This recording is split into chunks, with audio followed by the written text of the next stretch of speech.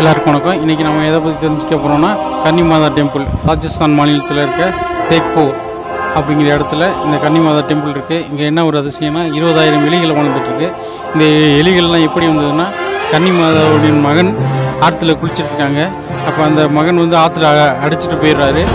அந்த கன்னிமாதா போய் யமதர்மன்ட்ட கேட்குறாங்க என்னுடைய மகன்களை வந்து உயிர் உயிர்ப்பிச்சு கொடுங்கன்ட்டு. உடனே அந்த யமதர்மன் உங்களுடைய மகன் வந்து எலியாக வருவாங்க.